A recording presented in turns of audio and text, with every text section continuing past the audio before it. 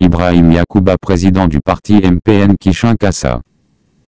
Il est un homme politique patriotique nigérienne. Son père est un commerçant, né dans les années 1940 à Birnin Lokwayo commune de Matankari mais qui passe l'essentiel de sa vie à Maradi. Militant savabiste, ce dernier a quitté son village natal vers le début des années 1960 pour se retrouver à Maradi, à 300 km aller, où il entreprend différentes activités commerciales. Son père meurt en août 2016. Sa mère est elle aussi née à Birni Lokwayo, dans l'actuelle commune rurale de Matankari département de Douchi, région de Dosso. Après un cycle primaire et secondaire à Maradi, Ibrahim Yacouba fréquente l'école nationale d'administration Rwanda du Niger, où il suit de 1988 à 1991 et de nouveau en 2002 le cycle de formation des contrôleurs des douanes. Il poursuit en 2006 à 2007 sa formation supérieure en douane, au Maroc, au centre de formation douanière de Casablanca ACFD, où il obtient le diplôme d'inspecteur général des douanes.